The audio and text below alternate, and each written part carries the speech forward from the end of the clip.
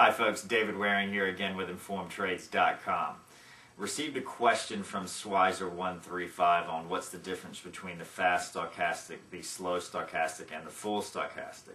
Um, I'm not going to go into the formulas for each of these. If you're interested in that, I've included a link to the formulas in the description section of this video if you're watching this on YouTube or one of the other video sites, uh, and right below this video if you're watching it on InformedTrades.com.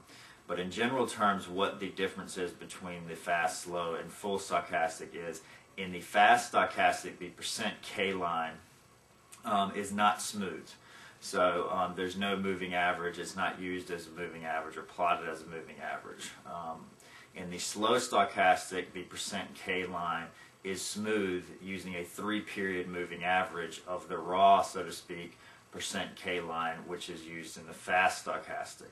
Okay, so the percent K line in the slow stochastic is a three period moving average of the of the percent K line used in the fast stochastic. So what this means is, uh, in simple terms, the percent K line in the fast stochastic is going to move around a lot more than it is in the in the slow stochastic, and that's why it's called the fast stochastic and the slow stochastic.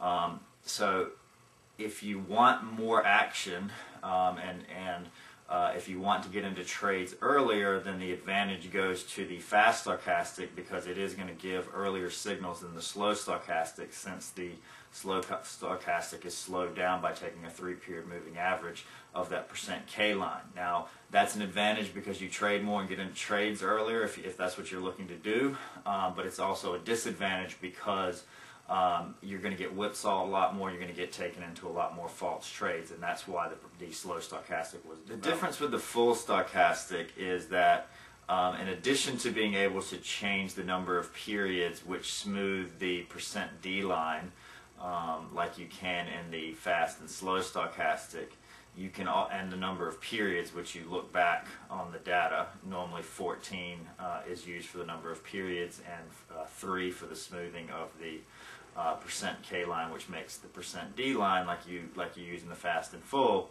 You can also choose a simple moving average period for the percent K line in the full stochastic. So you can slow down or speed up the percent K line um, in addition. So uh, that's the difference with the full stochastic. So I hope that answers your question. If you have any more questions or comments, please feel free to leave them in the comments section below.